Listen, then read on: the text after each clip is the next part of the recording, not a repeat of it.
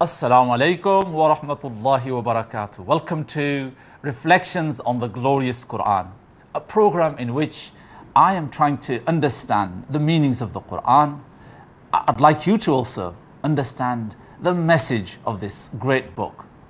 The Quran is actually the Hidayah and it is also Shifa'ul lima fi sudur, a healing for the sicknesses of the heart, really. It is a book that is really cures the illnesses of our heart. You know, before I touch the topic that I want to talk about today, I want to just clarify what we mean by shifa.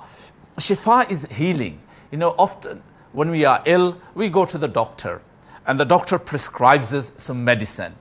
You know, if we have a, an infection, flu and colds are very common in our country here in England. So when we have that illness, we go to the doctor sometime and he will give us some antibiotics. The antibiotics work by killing those nasty germs, viruses, or the bacteria that is infecting us. And they make us well. They cure us, we say. My dear listeners and viewers, you know, there are also very serious illnesses of our heart and mind, psychological illnesses illnesses insiders that are not amenable to antibiotics or any other kind of medicine. They need the medicine of the glorious Quran. And inshallah, I'll talk more about that when we talk about the Quran as a healing. But today, I've selected a passage from Surah Al Imran. This passage is from verse 102 to 105. Very famous passage in Surah Al Imran. Allah subhanahu wa ta'ala says, أعوذ بالله من الشيطان الرجيم يا أيها الذين آمنوا اتقوا الله حق تقاته ولا تموتن إلا وأنتم مسلمون واعتصموا بحبل الله جميعا ولا تفرقوا واذكروا نعمة الله عليكم إذ كنتم أعداء فألف بين قلوبكم فألف بين قلوبكم فأصبحتم بنعمته إخوانا وكنتم على شفا حفرة من النار فأنقذكم منها كذلك يبين الله لكم آياته لعلكم تهتدون صدق الله مولانا العظيم In this short passage, Allah subhanahu wa ta'ala is guiding us towards solidarity and unity. It's a very interesting concept, you know, unity and solidarity. Allah says, O believers, be mindful of Allah. Let me give you the translation first of this beautiful passage. You know, Allah subhanahu wa ta'ala says that, O believers, be mindful of Allah and truly fear Him as He ought to be feared. And you should not die but in the state of submission to Him, but in the state of being a true Muslim. And then Allah says, Hold Allah's ropes firmly all together and let nothing divide you. Remember Allah's favors on you when you were enemies. So He joined your hearts in love, and by His favor, you became brothers. You were on the edge of a pit of fire, so He saved you from falling into it. In this way, Allah explains for you His verses so that you may be rightly guided. Now, you know, here the passage begins with talking and addressing the true believers, you know, by saying, O believers, be mindful of Allah. This word taqwa has, you know, according to Imam Fakhruddin Razi, has 12 different meanings. I'm not going to tell you all those 12 now, but inshallah, in this series of programs uh, on reflections on the gl- glorious Quran, I will be, I'm sure, enumerating most of them. Here I've taken the meaning of Ya ayyuhalladina. O believers, be mindful of Allah. Be attentive. Listen, very simply, you know, listen. Be conscious. Subhanallah. You know, this is a very beautiful way of addressing us and making us conscious people. You know, people that are really successful in life are those who are conscious of their selves, their surroundings, their society, their country. You know, the best businesses and the best businessmen are who? Those who know what is happening in their own field of business. They know their competitors. They know what they are up to. What is the latest research? And only then do they succeed. You know, this consciousness, awareness is so important. Here Allah subhanahu wa ta'ala is saying, you know, there is so much to be conscious of all around you.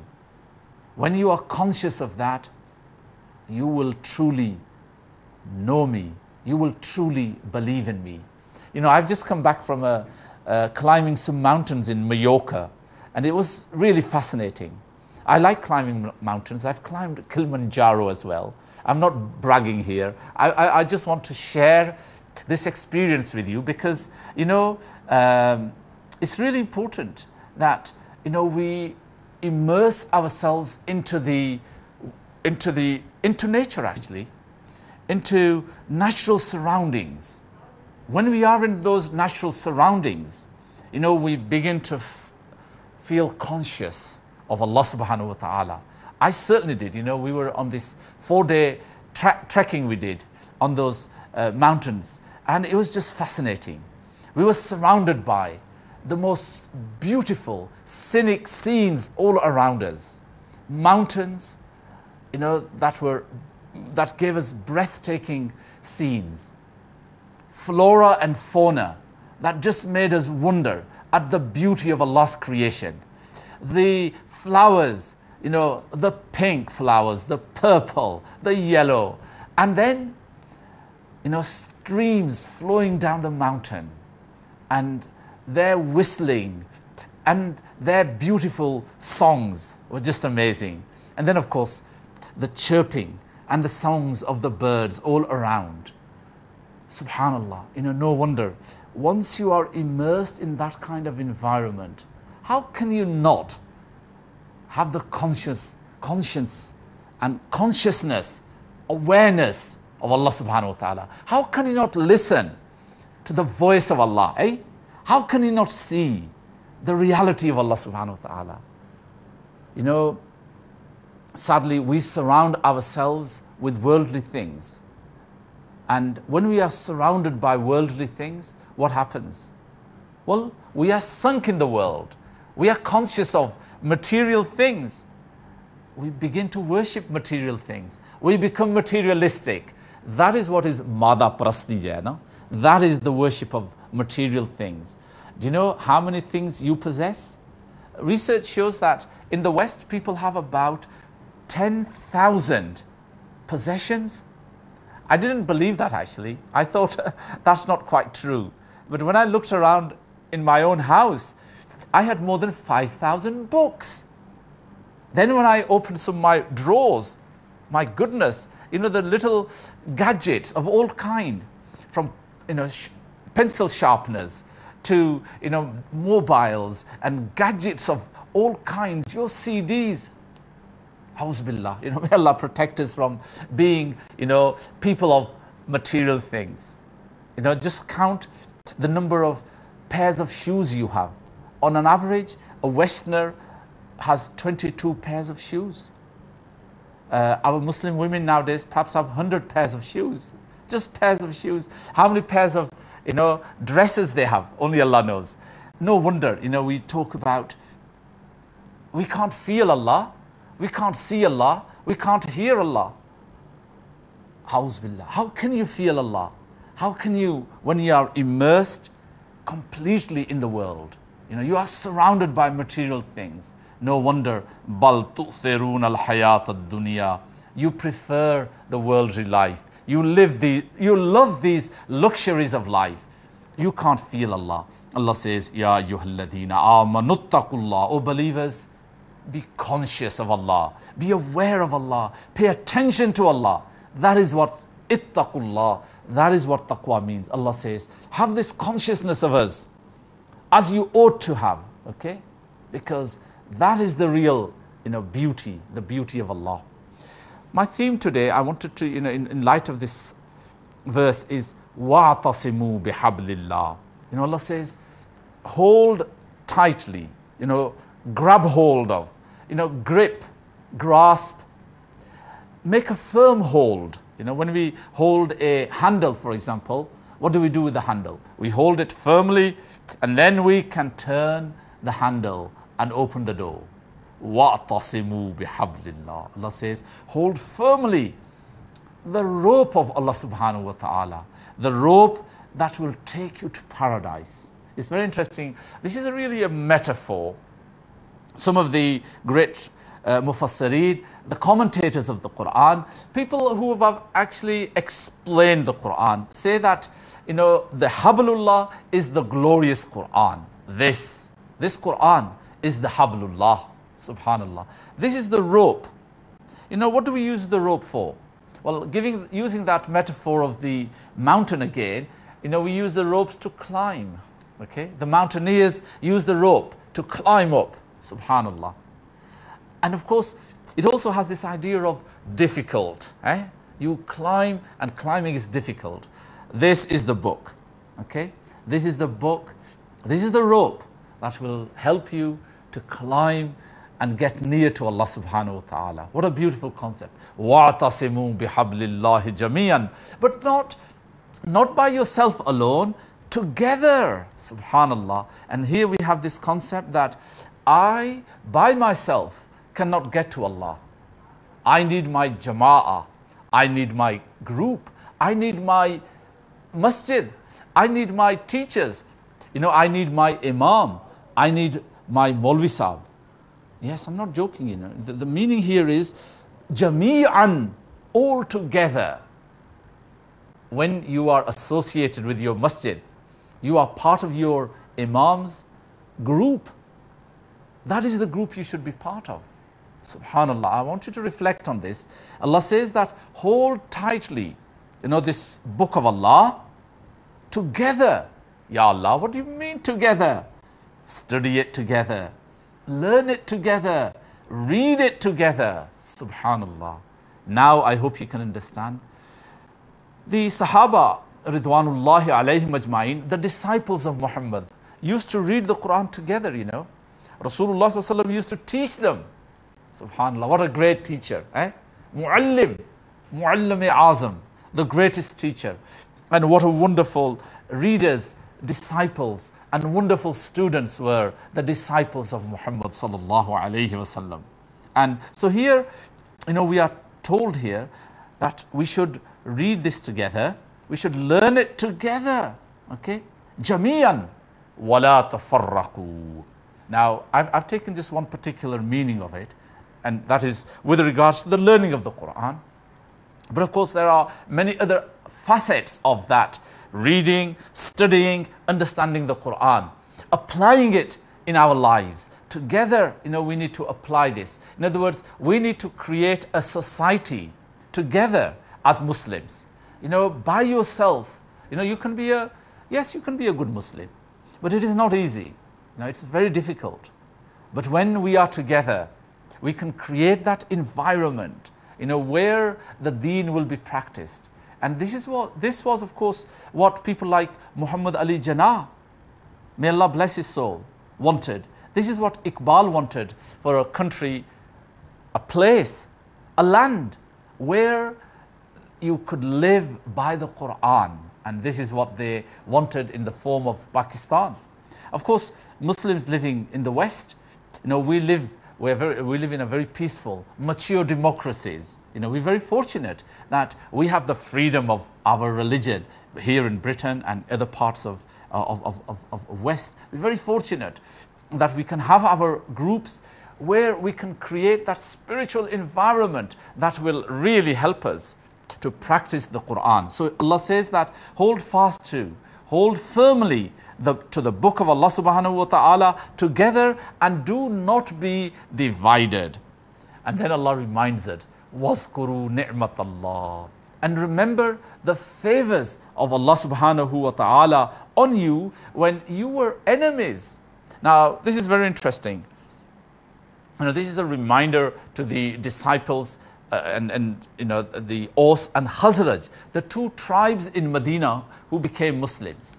Now, these were two tribes that were enemies from a long time ago. Okay? But when they became Muslims, they became like brothers and sisters. They became together. They became one community. They became one group under the leadership of Muhammad sallallahu alayhi wasallam. However, you know, their old enmity, which had been going on for decades, you know, they've been fighting each other. But when they became Muslims, they became brothers and sisters. You know, we have that very famous treaty of Muwahat, you know, where the Prophet made the, made the migrants from Mecca and the people of Medina brothers, but also brought the Ansar, you know, these are the helpers, the Muslims of Medina, he made them also come together. However, on one occasion, they were about to fight one another. They were about to, you know, have a brawl. You know, this was after quarreling with one another. They were actually about to take up their arms against one another. The Aus and the Khazraj, the two tribes of Muslims in Medina.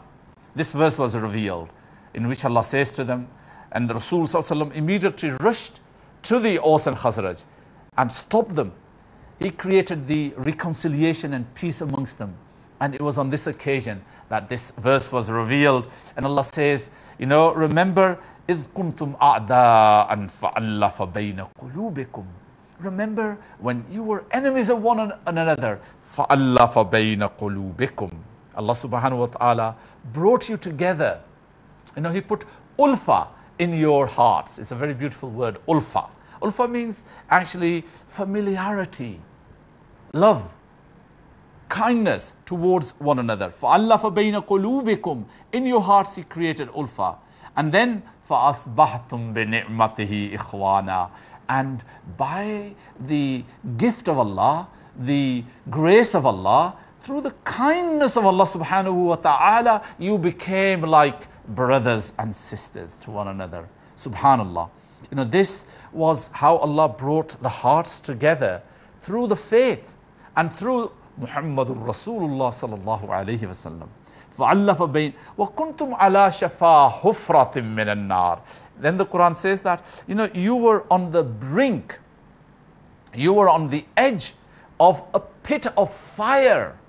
You know, a pit of fire, you know, a furnace and you were on the edge of it, about to fall into this, into this furnace of fire, into this hell, when Muhammad sallallahu alayhi فَأَنْقَذَكُم مِّنْهَا He rescued you.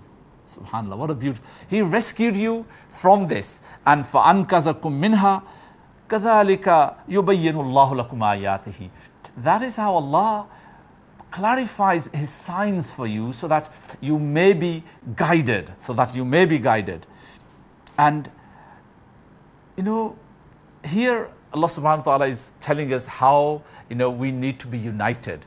And it goes on actually to give us another means of uni unity. First way of unity, of course, is being God conscious, aware of Allah subhanahu wa ta'ala. People who remember Allah, you know, who are paying attention. This is being consciously aware, you know, being conscious and a real lively Muslim, okay? Rather than somebody who is intoxicated with the world and just says things, you know, with his tongue but not with his heart. So that is not a true Muslim. You know, Muslim is truly the one who is conscious and aware. And then here, you know, Allah subhanahu wa ta'ala then tells us that, you know, this can only, this unity can only come when you hold fast and you study and you believe and you go according to this wonderful book, the glorious Quran. Uh, and you know, finally, you know, Allah reminds us that you know it's this book that truly unites us, and this is the book that gives us, and, you know, through unity we have strength. Our strength lies in following the Quran, in believing in the Quran, in acting on the Quran, in being aware of the message of the glorious Quran. Inshallah, we'll continue with this theme in our next episode. وآخر دعوانا أن الحمد لله رب العالمين.